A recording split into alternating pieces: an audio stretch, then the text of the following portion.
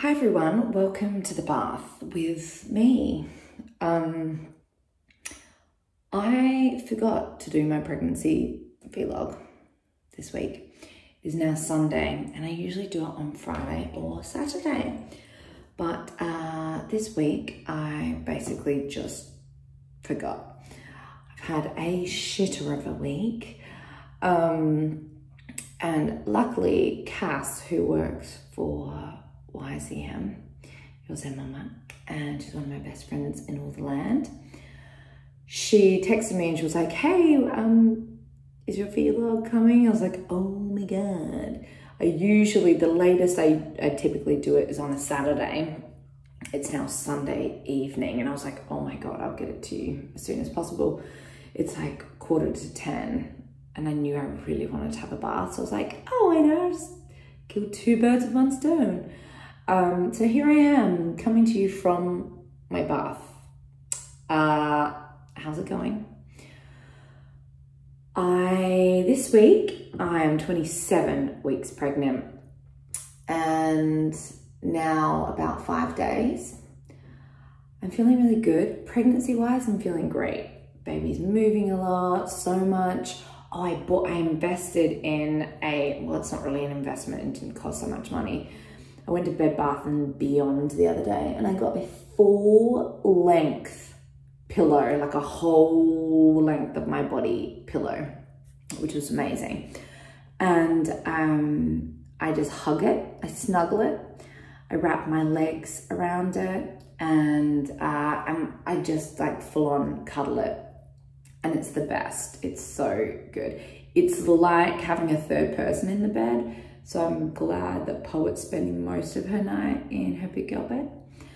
Um, but that has brought me comfort this week. So guys, Mercury is in retrograde. I wonder if any of you guys are feeling the effect of that because I certainly am. Um, it's just been a really hard week, especially just the last sort of three days. Uh, business wise for me, I the job that I was talking about that I got offered, I lost that job because I'm pregnant and they wouldn't insure me because my pregnancy, which is really annoying. Uh, but luckily, one of my best friends in the world is doing the job, so at least someone I love has taken the job. So that was a hard pill to swallow. That actually happened a couple of weeks ago. But in when I'm reflecting back on the month, I'm like, oh, there've been so many bumps in the road this May.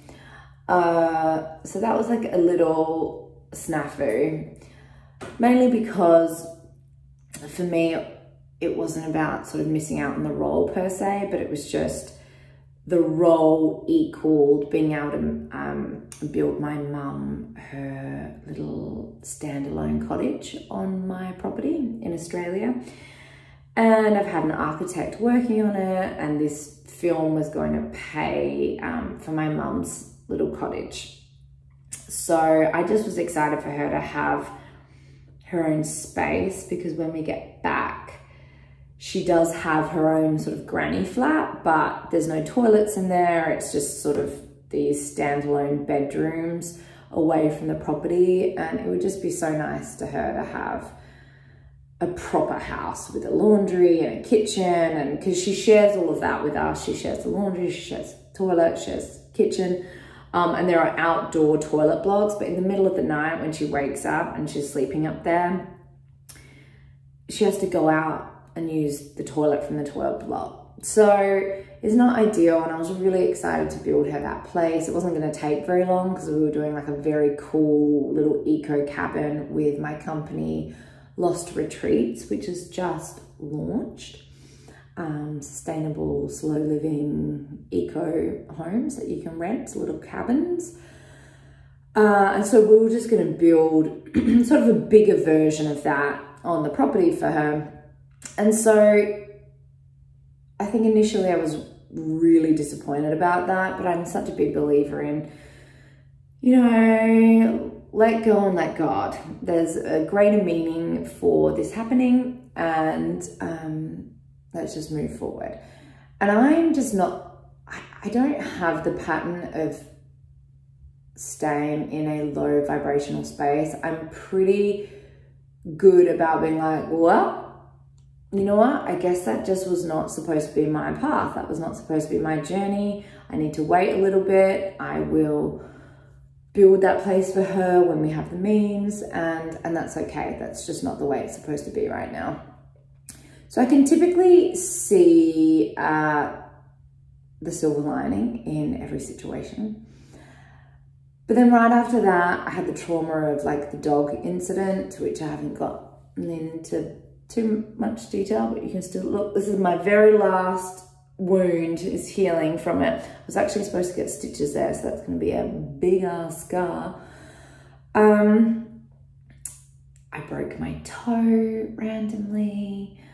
I've just sort of had, and then this week, oh my goodness, this week I've had, um, and it's funny because when I was reading about Mercury being in retrograde, they were talking about um, it's a communications thing. It says the planet of communications backward dance in Gemini is going to uncover secrets, mess with our communication, underline that. I just got bitten by an ant. Okay, okay, there's an ant.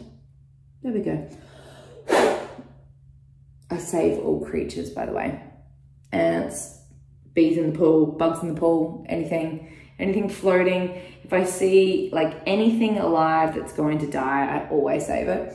Um, which is funny because we have a squirrel right now, an injured squirrel that we found today. So we're taking care of that. Um, but it, he seems to be doing okay. I, I said he, could be a she, I don't know.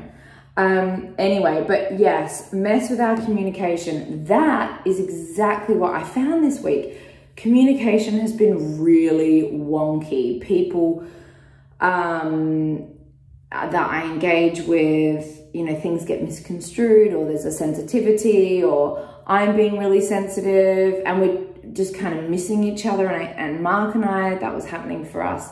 He's been my rock solid man this week where I'm just like, everything fucking sucks. it's been a really hard week and I've been in tears and just work stuff, big changes within my company and, um, you know, looking to the future and having to make some shifts and, and switch ups and just stuff that's like really super emotionally draining. Um, but we will get there. I'm just a, I'm a very highly sensitive person and I'm also a massive empath and I have a lot of compassion for people and when I take on other people's sort of stress or suffering, like I'm in it. I am in it with them. I am there.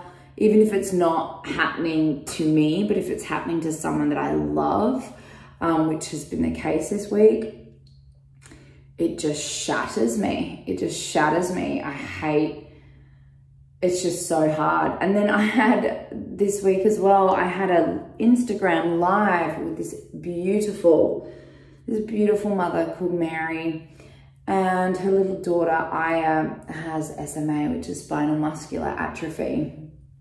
And uh, she will die without treatment. And I saw this picture of this little girl about maybe six weeks ago when I was reading an article on CNN and it just sort of popped up and she completely spoke to me. Her spirit spoke to me. I saw the picture. She felt like this connection between the two of us. I don't know why this little girl's 16 months old. And I just said to Mark, I have to help her. I have to help this little girl. She needs me. I, I, I want to do everything I can to help this family. And like mother to mother, to be in the sort of situation where a child is dying and the drug, the only drug that will save her life costs $2.4 million. Who has access to that kind of money? It's unbelievable how many families just have to watch their children die because a drug company is charging $2.4 million for a drug. And it just got me really worked up and passionate and angry. Uh, so I ended up doing an Instagram live with her this week. And because it's just been such a sensitive week and just seeing her face and she brought her little daughter Ayah on, I just lost it. I just lost it on the live. I could not hold back my tears. She was crying, I was crying. You know, typically when you're doing a live and there are thousands upon thousands of people watching, especially as the host, you're supposed to be one asking questions and keeping it together. That didn't happen for me this week. Um, and I just, the good thing is, is through the live, we raised a lot of money for her and they are about 75% to 80% of the way there. So if you're listening to this and you want to look it up, her Instagram handle is at little.aya, A-Y-A-H is Ayah and she has SMA. So you'll be able to find it quite easily through my Instagram every day. I'm doing stories, I've been doing swipe ups, I've been reaching out to celebrity friends, so many celebrity friends and asking them to post and they have been. Um, so we've raised so much money, which is wonderful. And someone got it to Kim Kardashian and she posted about it, which is worth so much because she has 200 and 25 million followers or something insane like that. And she did a swipe up link to the GoFundMe. She did two stories. And so that was like, that was a little mini victory this week was that um, the story got out there to more people.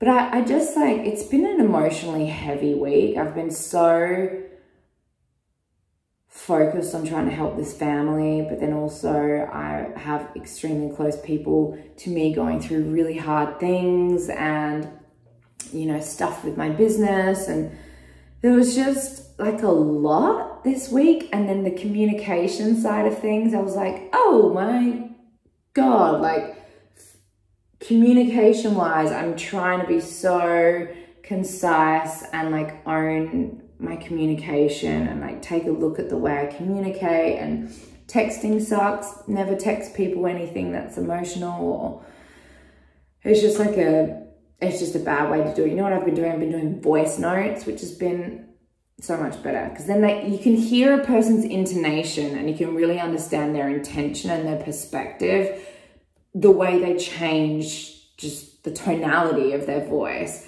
So I've been finding voice text really helpful.